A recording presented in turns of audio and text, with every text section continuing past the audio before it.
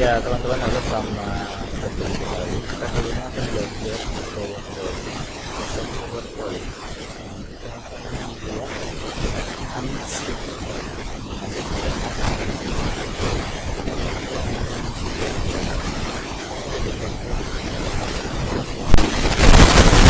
ilmu pengetahuan ada namanya ada namanya perpindahan kalor ya. Jadi dari perpindahan kalor perpindahan panas nah kita membuat animasi yang sederhana menggambarkan itu yaitu dalam bentuk animasi gelombang. Kita pilih blend presentation.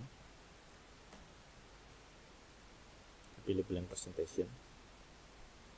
Oke udah. Kita hapus saja. Jangan lupa pertama-tama seperti biasa dikasih judul.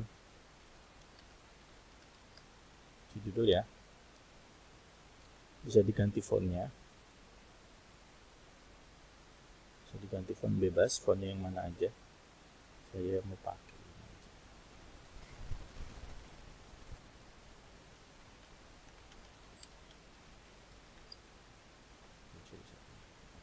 nah di sini bisa dikasih nama nama pribadi ya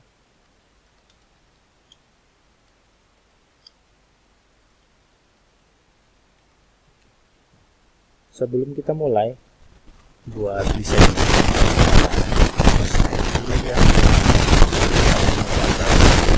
kita mau menggambar di sini nah baru kemudian ini kita berikan desain klik di desain pilih bebas pilih yang mana desainnya.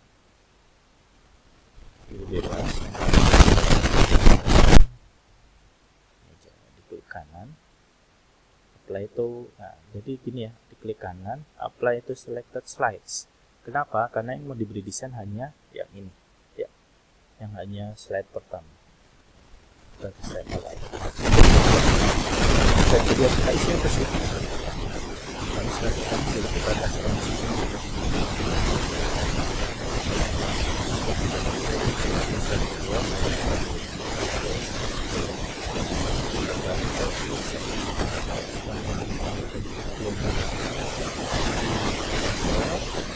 shapes ini start. And end ada value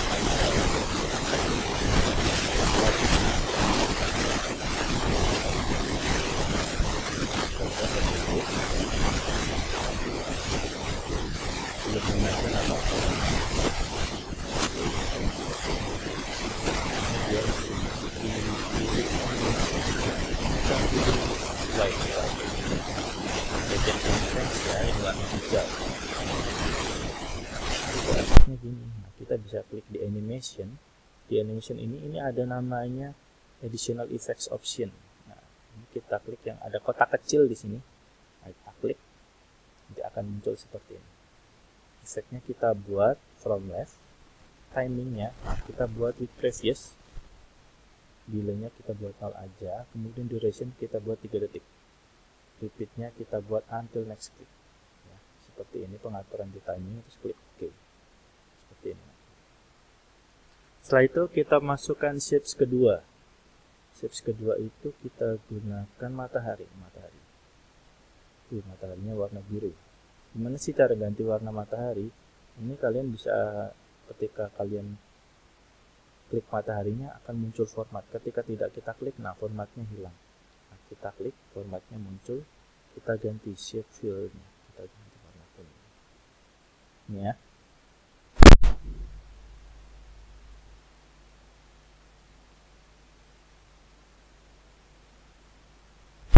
kita gunakan awan. Itu ada di basic shapes awannya. Ini cloud.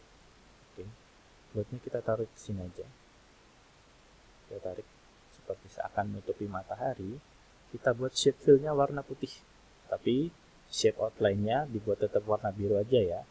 Supaya nanti awannya kelihatan. Seperti ini. Nah kalau sudah kemudian kita pilih animation. Kita pilih slide in.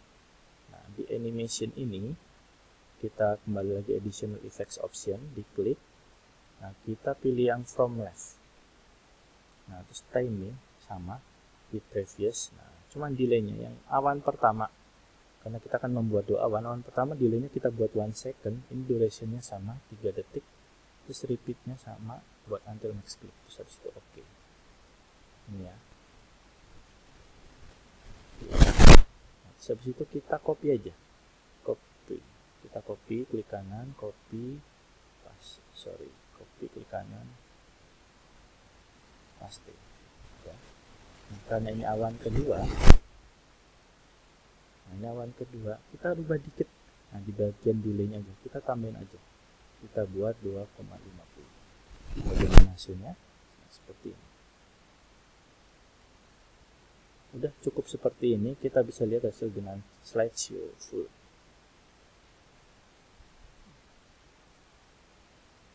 oke seperti itu.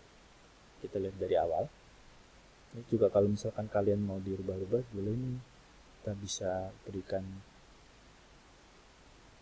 ini dat tulisan gini. Habis itu kita pilih ini juga. Kita bila bisa di fade dari awal ya. Oke. Ini sebelum bang. Saya. Kemudian lanjut